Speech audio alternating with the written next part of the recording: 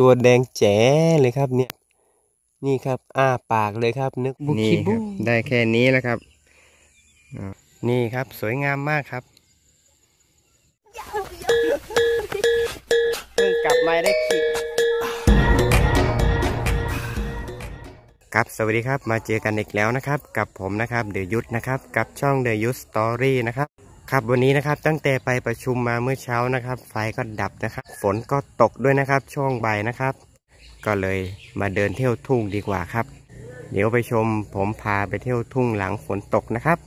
เดี๋ยวไปชมกันเลยครับ นี่ครับ เดี๋ยวเดินไปเที่ยวทุ่งนู่นกันดีกว่านะครับ หลังฝนตกนะครับ เดินกินลมชมวิวกันนะครับ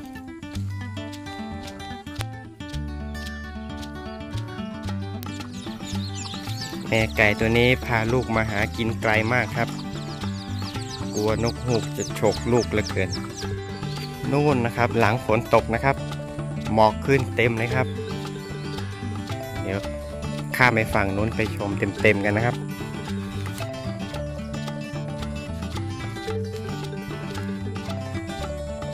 มาเจอรังนกนะครับ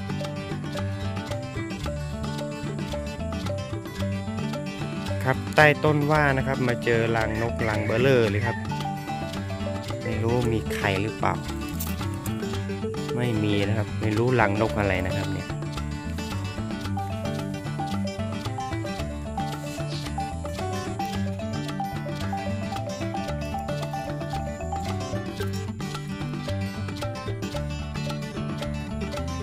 โอ้อากาศดีมากเลยครับเพื่อนๆ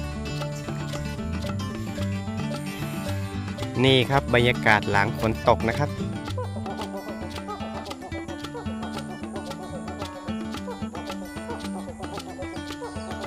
ครับเดี๋ยวเรามาเดินสูดอากาศบริสุทธิ์กันดีกว่านะครับ ครับตอนนี้น่าจะประมาณทัก4โมงกว่าๆนะครับ4โมงเย็นนะครับ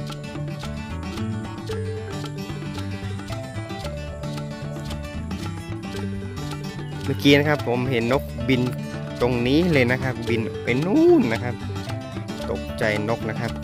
พอมาดูตรงนี้ก็เห็นรังของมันนะครับเนี่ยครับ นี่ครับโอ้โหลูกนกตัวเล็กอยู่ครับ ยังมีทั้งไข่ ไข่ก็มีลูกนกก็มีครับเนี่ยดูที่ครับ มาซ่อนอยู่ตรงคันนาใต้คันนานี่เองเนี่ย นี่ครับไข่มีสองฟองลูกนกลูกนกมีสามตัวนะครับ นี่ครับอ้าปากเลยครับ นึกว่าแม่กำลังกลับมาป้อนอาหารละมั้งครับสงสัยจะได้ยินเสียงผมนะครับ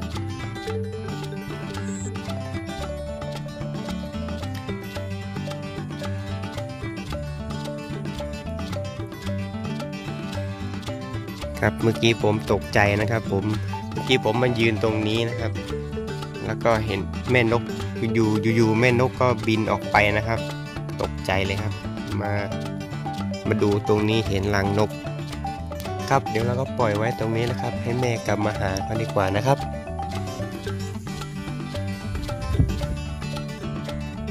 ครับเดี๋ยวเราเดินครับเดี๋ยวเราไปต่อครับเราจะได้เจออะไรนะครับ นู่นละครับ หลังฝนตกนะครับ หมอกสวยงามมาก สวยงามจริงๆครับ นี่หน้าฝนนะครับ ไม่ใช่หน้าหนาวนะครับ ครับทางโน้นนะครับ เห็นป้ากำลังกลับจากไปยกยอมานะครับ ทางภาคเหนือเรียกว่าตกจางนะครับ นี่แหละครับ เดี๋ยวเราจะขอดูป้านะครับว่าได้ปลาไหมครับ อ๋อบุนี่คิบุได้แค่นี้แล้วครับอืมอืมครับป้าบอกว่านะครับ น้ำไม่ค่อยขุ่นเท่าไหร่นะครับ ฝนตกไม่ได้ตกหนักมากนะครับ แต่ก็ตกเยอะอยู่นะครับ ป้าก็เลยบอกว่าปลาไม่ออกมาเท่าไหร่นะครับ เลยไม่ค่อยได้นะครับสำเรื่องมึงเหรอครับ เดี๋ยวเราเดินทางต่อครับเดี๋ยวเราไปกันที่สะพานนู้นนะครับ เราครับตอนนี้เราก็มาถึงสะพานแล้วนะครับ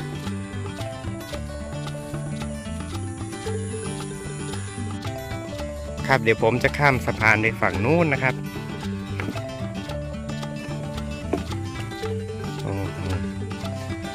ไม่รู้จะปลอดภัยหรือเปล่า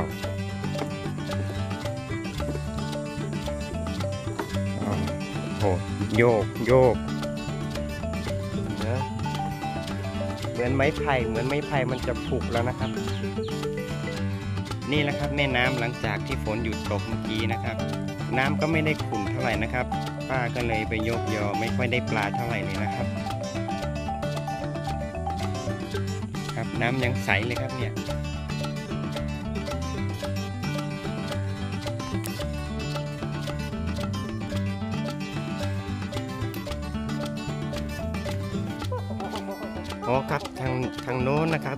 เมฆขึ้นเต็มเลยครับ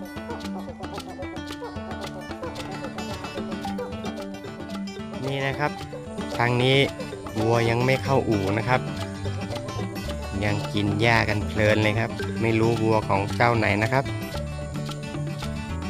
หลังจากฝนตกมาได้อาทิตย์หนึ่งนะครับโอ้โหหญ้าเริ่มเขียวขึ้นนะครับทำให้ทั้งวัวและควายนะครับ ได้กินหญ้าแล้วบ้างนะครับครับ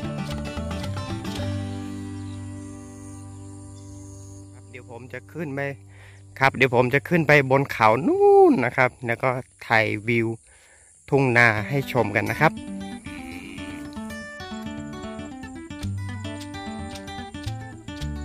เอาละครับ เดี๋ยวผมจะปีนขึ้นไปทางเขาด้านบนนู่นนะครับ ทางยอดเขานู่นแหละครับ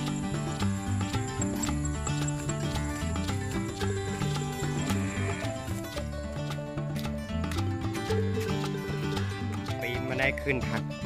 เอาละครับ ตอนนี้ผมปีนมาได้ครึ่งทางแล้วนะครับ โอ้เหนื่อยครับ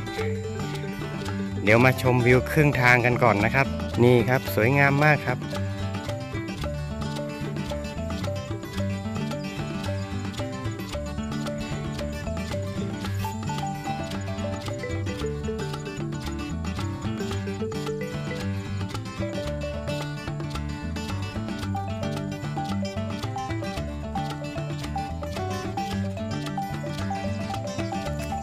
ครับ เดี๋ยวปีนขึ้นไปอีกครับ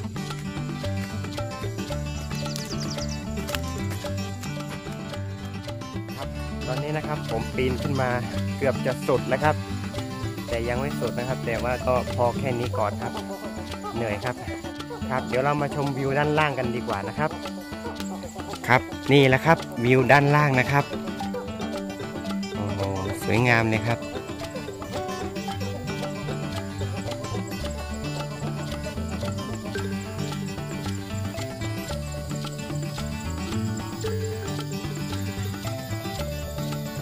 นู่นแหละครับ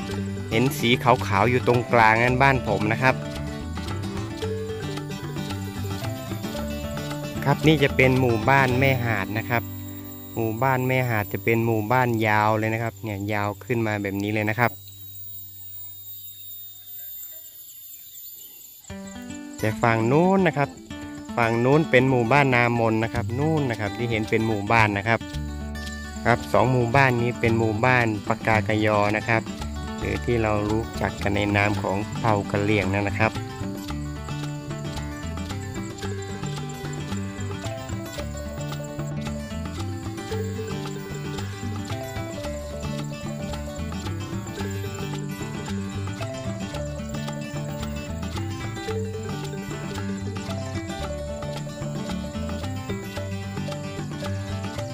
ทางนู้นนะครับจะเป็น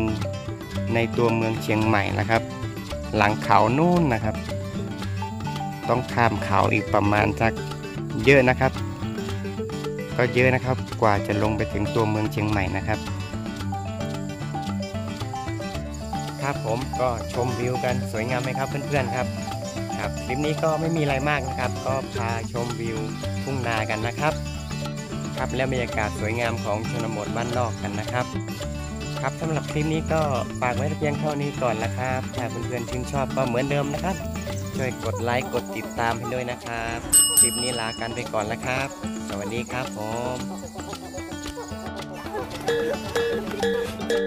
กลับมาได้คลิป